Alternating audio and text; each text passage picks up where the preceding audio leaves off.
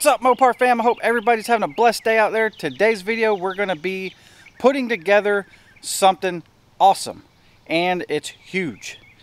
We had a new product sent to us from Gardesol. It's a 10 by 20 car shed or portable carport, whatever you want to call it, or portable garage. But anyway, as most of you guys know, I keep Frostbite under a cover uh, because where we live currently we don't have a garage anymore. Um, so, for the time being, we got this awesome product right here in this huge box. 136 pounds it says. It's a 10 by 20 heavy duty portable garage that has a roll up door and windows in it, which is pretty cool. So we are going to put that thing together real quick and get rid of the tarp, which will make my life a little easier having to take that thing off and on all the time we'll basically have a little outside portable garage until we move into a different house. Hopefully pretty soon, maybe by the end of the year, we'll see how it goes. But let's start the video. Let's get this thing assembled. It shouldn't be too bad to put together, so we're gonna get into it. Let's go.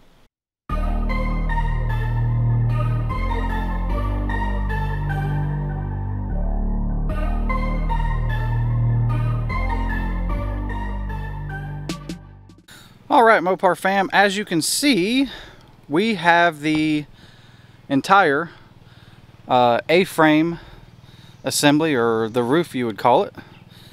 The top to the instant garage, fully assembled. Very, very easy. Um, I've had some of these things kind of similar to this in the past. And this one so far, honestly, this is by far the easiest one. It literally is all snap together uh, no hardware, no nuts and bolts. It is all snapped together poles, which I really like. Um, it's got these little spring-loaded buttons that just snaps in um, for every single connection point on the frame assembly. That's really dope. Um, I had one of these things back in the day. It was another brand, and it was I think like a 15, a 15 by 20 that I used for a bass boat um, long time ago and it had nuts and bolts for every single connection point on the poles and it literally took like forever to get that thing assembled um, just because there's so many bolts and nuts and just so much hardware it was it was insane it took forever. Me and my son just literally put this entire top to the structure together in like 10 minutes. Super super quick so we're going to continue on and get the rest of it uh, put together. Now we got to start working on the, uh, the poles that goes down towards the bottom of the structure. And of course get all the covers and tarps and everything on it. So here we go.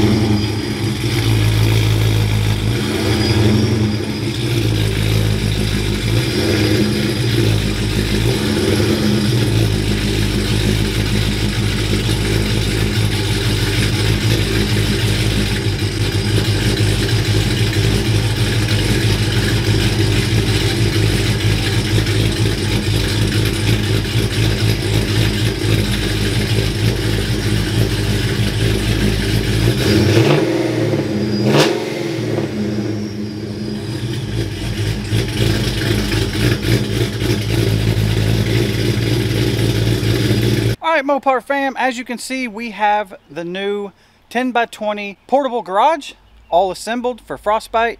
And again, the brand of this thing is the Gardesol. We'll have the link in the video description below. So if you're interested in it, go to the video description. Link will be right there. Take you right to the Amazon store.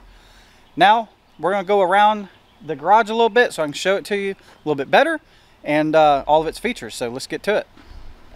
All right, so obviously we have Frostbite in the garage. This is a 10 by 20.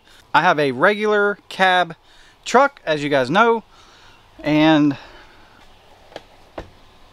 I have plenty enough room on both sides of the truck to walk around it.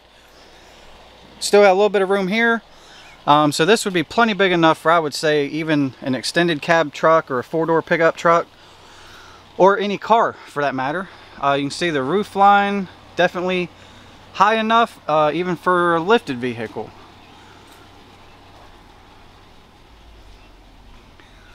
Both of the front and rear section uh, both has zipper doors that roll up so you can use both both ends of the garage as an entry point or an exit point um, so if you had it in you know say one spot you could have both doors open and actually drive right through it and out the other end. That's pretty neat. Uh, both sides of the garage has roll up velcro windows with screen.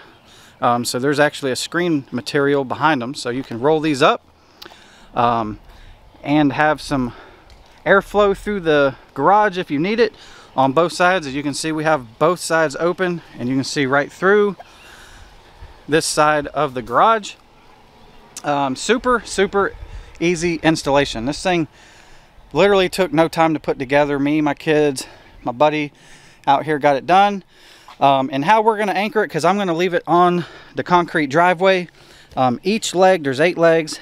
There's a uh, has a metal foot down here with pre-drilled holes on both sides.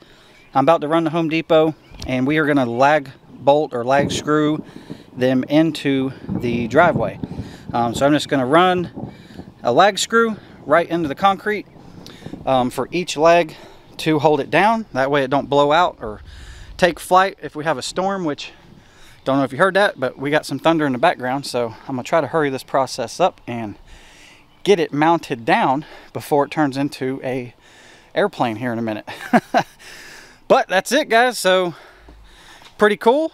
I'm definitely stoked about it. It's going to make my life a lot easier not having to deal with a car cover all the time. Um, plus, Frostbite's going to stay completely dry now. And it's nice and covered. And the other cool thing about this thing, me and my son was thinking, this could be a pretty neat little portable paint booth um, set up. You know, we've been painting some parts on his truck, so we might even try to incorporate it into uh, some of our little paint projects here. Um, so stay tuned for that. So as always, guys, stay safe out there. Don't forget, hit the subscribe button, hit the like button, put a comment down there below what you think of the portable garage, and we'll see you guys on the next one.